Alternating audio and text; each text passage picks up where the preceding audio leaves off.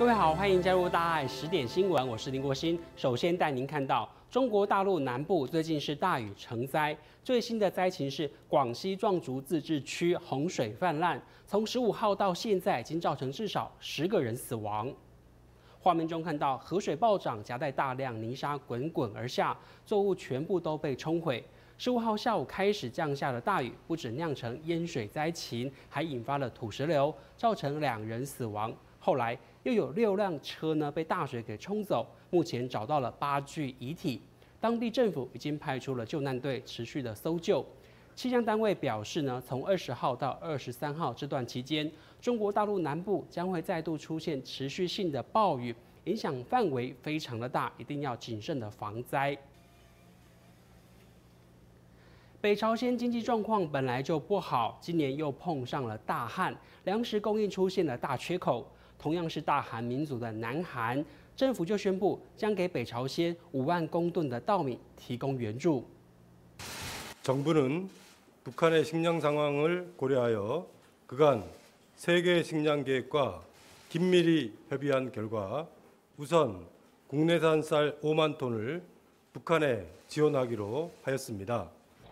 一大片的农地上头却看不到作物，一片光秃秃的。北朝鲜今年碰上百年以来最严重的旱灾，再加上长期因为发展核武受到国际的经济制裁。今年五月，平民百姓呢每年每天只可以领到三百公克的粮食，创下历史新低。联合国的报告还指出，北朝鲜有四成的人口急需要粮食援助。南韩政府紧急出手相助，并且表示呢，还会尽快的评估下一波的援助行动。刚果民主共和国从六月初开始，种族冲突越演越激烈，到目前为止已经超过三十万人逃离家园，也加速伊波拉疫情的扩散。一顶顶白色的简陋帐篷，就是一家大小遮风避雨的地方。刚果民主共和国东北部因为战乱，数十万民众被迫逃离家园。然而，这一离开也使得当地原本就非常严重的伊波拉疫情变得更加难以控制。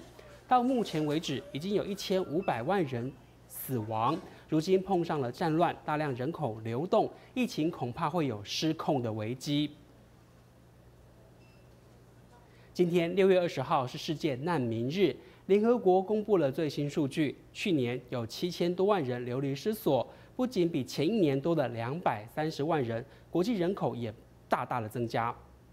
Between eighty and ninety percent of these seventy million are not in rich countries; they are in poor countries. They are in what we call middle income countries. In other words, they are in countries that have less resources to address this crisis. Very often, we tend to think of the one big refugee crisis affecting the rich world. This is the perception that many people have, and it is wrong.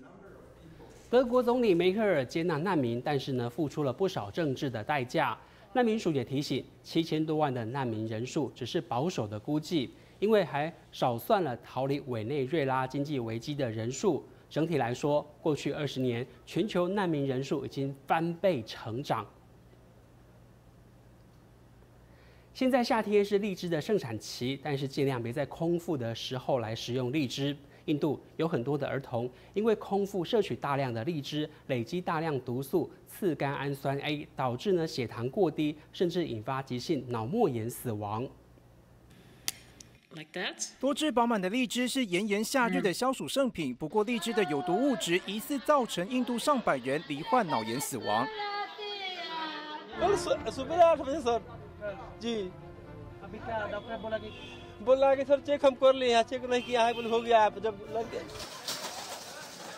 印度最穷困的省份比哈省，六月一号爆发急性脑炎以来，造成一百多人死亡。大多是四到十岁、家境贫困、营养不良的儿童。他们本身血糖低，又在空腹时把荔枝当饭吃。荔枝毒素次甘氨酸 A 阻止人体产生葡萄糖，造成低血糖，进而引发急性脑炎，出现抽搐、高烧、脑部发炎、肿胀，甚至死亡。This acute encephalitis syndrome has been recurring in Bihar, and the government has not taken any steps. 病房人满为患，一床难求，有的孩子挤在同一张病床打点滴。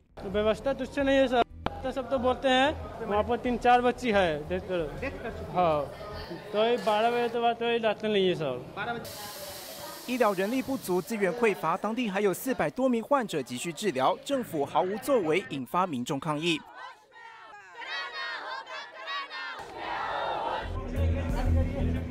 印度卫生部长这才了解事态严重，亲自到比哈省视察。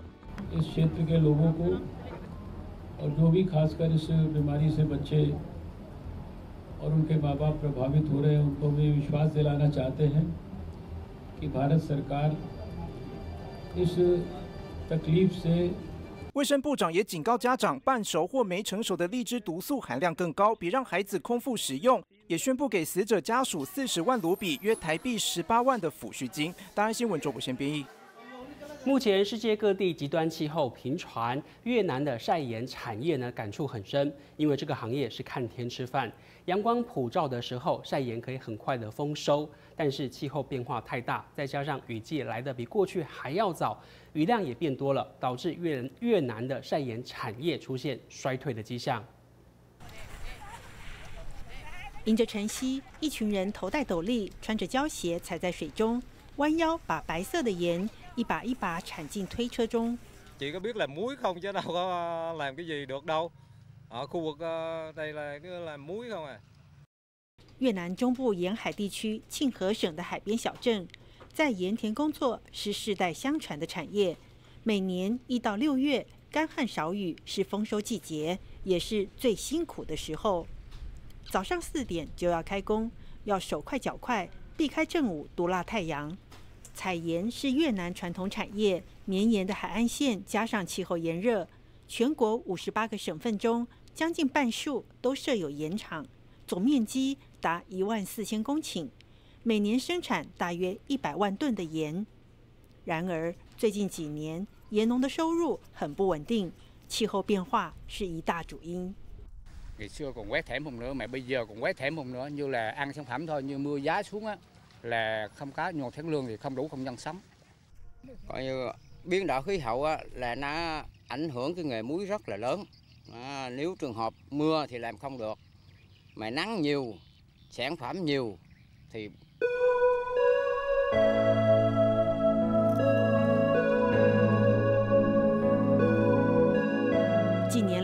雨季总是来得太早，雨量又比较多。靠老天吃饭的盐农只能听天由命，不少人转业。例如北部的南定省，十年前有九十公顷的盐田，现在只剩下二十公顷。而且工业对盐的品质要求严格，因此越南进口的盐也不少，都对传统盐田造成打击。现在越南政府宣布，要以十五年的时间将盐业现代化，引进新科技。希望在二零三零年将产量提升三倍。大爱新闻李方编译。焦点回到台湾，在台南有一名十岁的男童，他在家中浴室洗手，因为重压洗手台造成陶瓷台面坠毁破裂，男童全身多处被割伤，伤及了动脉跟神经。经过医师紧急缝合之后，才保住了一命。专家就表示，洗手台要尽量。避免选用悬挂式的，也不要重压，才能避免意外发生。要跟着底啊家人急着在家门外等救护车，十岁男童被抬出时全身是血，原来他遭到家中浴室坠落的洗手台割伤，紧急送医。他已经有压过好多次，我有看到，我有提醒他，因为我去租的时候我就已经有发现，我我早就有先跟他讲了，啊，只是看到他有压过。男童重压洗手台造成一条动脉和静脉及四根神经被割断，医师紧急手术四小时接回。刀刀见骨，每一刀都是切到骨头才停下。主要的伤口在右边的腋下、跟左边的前臂、跟右边大腿还有胸口，这些伤口里面都有很多的神经跟血管的撕裂伤。这方面换我这边看是否有裂掉。市面上洗手台好几种，男童家中使用的是传统旧式的悬挂式洗手台，没有任何支撑，受力容易不均。有脚的支撑点，对它不像锁在墙壁上，对，因为毕竟哈，嗯，这个面盆它会做固定一次，然后呢，还有下面的柜子的话去做一个固定的部分。对。专家提醒，使用悬挂式洗手台可加装支架支撑，如果面盆出现裂痕，也要赶快更换，更不要在上头重压或是放置重物，才不会引发破裂，酿成憾事。大家新闻王昭忠，高雄、台南综合报道。现在夏天天气闷热，常常流汗，尤其婴幼儿的皮肤比较薄，保护能力比较差，很容易长湿疹。医师就指出，最近婴幼儿湿疹来就诊的人数呢，比过去高出两到三成左右。如果湿疹没有接受妥善的治疗，家长自行购买含有类固醇的成药来擦，不但会伤害小孩的皮肤，而且湿疹没有根治的话，很容易反复的发作。医院小儿科诊间挂号人数不间断，天气越来越热，婴幼儿出现湿疹的比例比平常高出两到三成。不少家长也坦言，照护上得要特别费心。我们是好像有疑似有湿疹，所以才来，就是皮肤比较有有一粒一粒，然后比较粗糙，关节的地方吧。就还有就是手肘啊，或是什么有皱褶处，就擦乳液，多勤擦乳液。小朋友的皮肤特别薄，保护力比较差，在湿热天气、汗水反复刺激下，就容易出现过敏、湿疹症状。脸部、嘴巴周围、脖子或关节处都要特别注意。小朋友带来的时候，脸就已经是溃烂的，因为他可能就是很痒，他就会一直磨蹭磨蹭这样子。那另外比较常见是在脖子，因为小孩脖子很短，所以汗就会淤积在上面，所以就久了，一打开就呜，整个都是湿疹。提醒家长可别小看湿疹，临床医师就指出，两岁是照护关键期，如果没有接受妥善治疗，以后很有可能稍微流汗就过敏。如果你一直反复的刺激他之后，他的免疫系统就会很旺盛，所以他就会很容易。碰到什么东西就有一个反应，所以当然会希望在二两岁以前的，就让他快快的好，不要一直去刺激他的免疫系统。医师建议，婴幼儿洗澡后可以擦适量凡士林保护皮肤，平时不要过度用肥皂清洁，伤害角质层。把握两大原则，就不怕湿疹找上门。大新闻杨运慈、李建宽特别报道。有一种病菌呢，叫做李斯特菌，它可以存活在不同的环境之间。如果我们吃的蔬果，或者是呢没有经过加热的食品，都有机会被感染。对于免疫力呢比较弱的人以及孕妇，会构成致命风险。其中，孕妇不小心被感染的话，还有百分之三十流产风险。然后保存食物或乳品，一般都会想到进冰箱去冷藏。可是有一种细菌叫做李斯特菌，特别的耐寒，在冰箱中也能生存。就有一名怀孕二十八周的准妈妈，喝了冰箱内开封过的牛奶，出现高烧、腹泻等症状，最后产下死胎。进一步检查发现感染李斯特菌，这种细菌致病力不高，但免疫力低下的人，尤其孕妇，感染风险高出二十倍，更有百分之三十流产风险。孕妇在怀孕期间，就是说，因为体质的改变，免疫力也会下降，尤其是在啊最后的那个七到第十个月之内，孕妇大概占所有感染的大概占到可以占到三分之一到二分呃到四分之一左右。都还是都会看，是以新鲜为主。我说我是今天冰的，我今天晚晚一点吃的话，我觉得 OK，但是隔夜的就尽量不要。准妈妈们的观念很正确，医师也提醒，李斯特菌能在负一到四十五度之间生存，但不耐高温，只要超过七十度就无法存活。尽量如果出来了啊，拿出来再吃的话，一定要再把它再煮过，再把它高温再给它回温一下，把里面的细菌还是要做杀菌。这样子的话，吃下去才会比较安心。提醒孕妇吃过的食物务必冷藏保存，但不要超过两天，并且生食、熟食分开放。食用前记得彻底加热，远离病菌。大新闻杨运慈、李建宽台北报道。另外，现在夏天天气很热，很多人喜欢吃西瓜来消暑解渴。不过，在台中有一名六十五岁的妇人，她平常呢就需要洗肾，但是吃了太多西瓜，一天可以吃掉一颗小玉西瓜的分量。结果呢，水分排不出来，引发了肺水肿，呼吸困难，送医。医师就表示，西瓜营养非常的丰富，但是要特别注意自己的身体状况以及呢食用的分量，才不会造成身体负担。好好吃哦，好吃甜不甜？很甜，消暑解渴，清凉，然后整个身心都舒畅起来了，吃了就凉爽，这样那种感觉，最主要是解热了。清凉西瓜人人爱，消暑美味，营养丰富。钾离子的部分，哈，它跟我们心血管保护有关。那钾离子的摄取多，也会促进我们排尿，也是有促肠胃蠕动、清热解毒的作用。不过有特定疾病和体质的人千万别多吃。有心肝肾衰竭的病人，其实他水分限制最好都能控制在一天一千以内，过多的话就容易造成肺水肿、积水的问题哈。那有时候紧急的话会造成要插管。比较偏寒性体质的话，反而会容易有一些那个筋骨酸痛、拉肚子，这些都有可能会发生。所以如果要吃，尽量挑有太阳的时候吃。我们建议一份的重量呢，大概就是我们一般吃饭的碗切好的西瓜，大概八分满左右。西瓜糖分和水分含量高，肾脏病、心脏衰竭、糖尿病患、感冒、寒性体质、产妇、孕妇以及生理期都不宜吃西瓜。一般人吃也要挑对时间，才能吃得开心又健康。大爱新闻黄正明、欧阳光辉台中报道。美国东岸的纽约以及长岛两所慈济人文学校陆续举办了毕业典礼，师长们还有家长都给毕业生满满的祝福。另外，在西岸的洛杉矶，慈济圣谷爱满地联络处有一场慈少干部的传承仪式。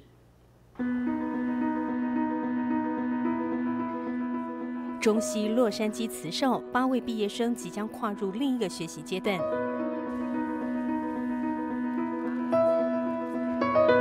慈济职工在圣谷爱满地联络处为他们举办欢送会，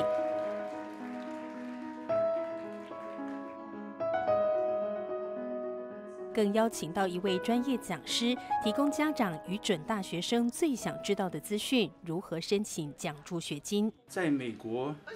他所希望看到的学生呢，是一个属于全方位的性质，除了学业成绩好之外呢，还有参加课外的活动，还要把时间回馈于这个社会。慈少团队有新传，即将承担干部的阮诗华自我设定目标。I think I can help all of the Sisaos communicate better and bond more and just be a bigger, happier family. And also, I plan to create a Tsuji club at my own school where we can gather more people and more friends to make Tsuji a bigger and better and happier family. 慈济大家庭快乐的氛围一届传一届，在纽约慈济人文学校的毕结业典礼，没有离情依依，而是满堂喝彩。所有2018学年度在各方面有进步、有优秀表现的学生和教师都获得肯定。毕业生奉茶感恩师长和父母，行囊装满祝福，更要向前行。长岛慈济人文学校在校生表演街舞，律动畅游，人见人爱。毕业生则回忆起十二年来他们的成长足迹，礼谢所有人爱的陪伴。大爱新闻真善美之工美国综合报道。慈济北加州分会举办了夏季义诊，提供了中医、牙科、眼科等五个科别，服务了两百多位民众。特别的是，义诊现场公达义买通，迎接相亲，从场外到场内无缝接轨，基础检查亲切寒暄。今天等很久了，好辛苦了。那我现在先帮你量体温跟血压哈。和医师面对面笑谈人生，就像开车。我很我很羡慕你啊，你这个年纪耳聪目明啊，脑筋很清楚，非常非常好。但你一部车开了八十年会怎么样？车灯不亮，喇叭不响，是不是？那轮胎磨掉了啊？那怎么要换轮胎？给你开开刀，换中东换膝盖可以吗？不要换了啊，过得去就好。专业在脚步，足科医师庄大庆，台意买通。会通一点啊，一点点啊，呢，唔唔是做好诶。没办没办。视力还还好吗？不 错。慈济北加州分会夏季义诊都是民众普遍需要的科别，两百三十人受到医疗服务。大爱新闻真善美之工向才荣美国报道。荷花出淤泥而不染。国宝级铜锣工艺家吴宗林今天一早到新店金丝堂，他把亲手打造的铜荷花赠送给正言上人。这一座铜荷花不仅环保，也象征慈济之功在社会上无私奉献，却能保持呢亲近心的精神。敲响每面铜锣，谱出悠扬旋律。国宝级铜锣工艺家吴宗林，不止在制作铜锣上有着好手艺，还有做工艺品的好本领。啊，今天很荣幸能够来到这里啊，呈现给上人，感恩。吴宗林和妻子来到新店静思堂，献上手工打造的铜荷花，象征慈济人就像这朵盛开的荷花。在这个人世间呢，大家都在这边打滚，手、身体都会弄脏，但是这个心是清净的。用这样的一个精神来啊诠释我们大爱这些志工啊，不断的在这个社会上贡献出自己的力量，但是心里面是一种清净的。而这座铜荷花全是用制作铜锣时所残留的废角料回收再利用制作，环保更兼顾艺术之美。但之所以用铜花结下好姻缘，都是为了让妻子与瓷器的羁绊更加紧密。上人要的是无相，是我们的心的呈现。那但是呢，呃，吴老师一直挂碍在这这这一个他的一个作品这一个呈现，所以呢。这次也很好姻缘，我才有这个机会来面见商人。相无相，无不像，这样的表达出来的，已经呢很感人哦。这是从无相的心，已经呢打从内心的诚意表达出来的。从有形的艺术品中展现无形的美，也在作品中感受到满满心意。大爱新闻范秀与李明华台北报道。再来看到的是生态危机。俄罗斯北部的工业大城街道上出现一只瘦弱的北极熊，它从北极圈的栖息地长途跋涉到这里来寻找食物。因为全球暖化呢，导致北极熊失去了栖地，这样的情况恐怕只会持续发生。瘦弱的北极熊在垃圾堆里找东西吃的画面令人鼻酸，这一幕全都被手机录了下来。Хочется его покормить скорее, наверное.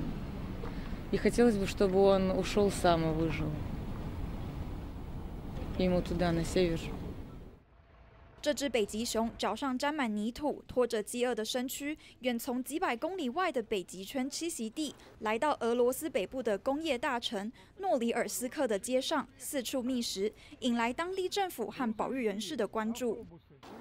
До него порядка 30-35 метров. он может преодолеть в 4 прыжка. Скорость на коротке может развить до 60 км в час. Представляете, что это такое? Вот. И при этом он не остановится ни перед чем, потому что это зверь. То есть это надо понимать. 北极熊躺在地上，看起来健康状况不佳。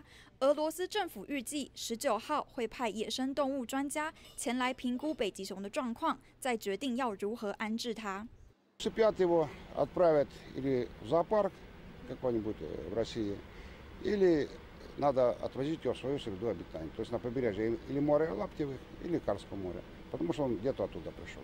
二零一九年年初，俄罗斯北部的偏远地区有民众目击十几只饿坏的北极熊闯入民宅觅食，当地政府宣布进入紧急状态。